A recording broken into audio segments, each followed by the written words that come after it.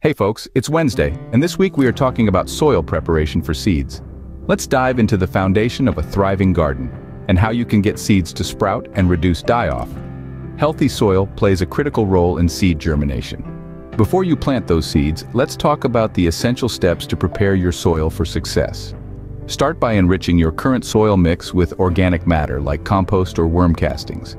These additions improve soil texture, boost nutrient availability, and create a nurturing environment for your seeds to sprout and grow strong. Remember, healthy soil is the key to healthy plants.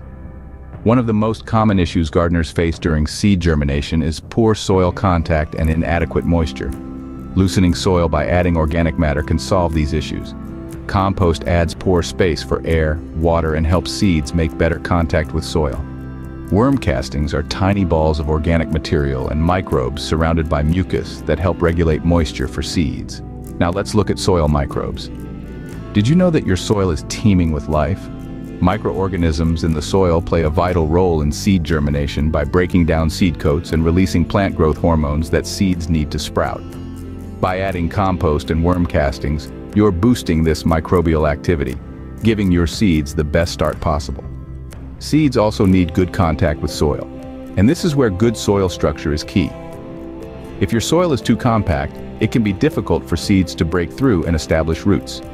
Sifted compost and worm castings help improve soil structure, increasing aeration and making it easier for roots to grow.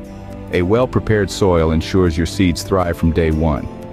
If you find this type of material interesting or useful, go ahead and like, share, and follow us for more tidbits of information. Now let's get back to it. Another thing your seeds need is access to water. Moisture is essential for seeds, but balance is key.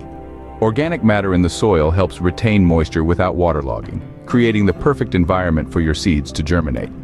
A living soil holds just the right amount of moisture, supporting healthy growth.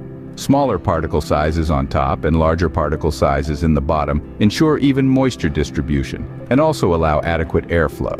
And don't forget the final touch, mulch. Cover your soil with mulch after your plants have started to grow. This helps retain moisture, regulate soil temperature, and protect your seedlings from harsh weather. Mulch also fosters beneficial microbial activity, creating a nurturing environment for your seeds to thrive. By taking these steps to prepare your seed starting mix, you're setting the stage for a healthy, vibrant garden. Whether you're a seasoned gardener or just starting out, remember that success begins beneath the surface. Thanks for watching. We'll see you next week.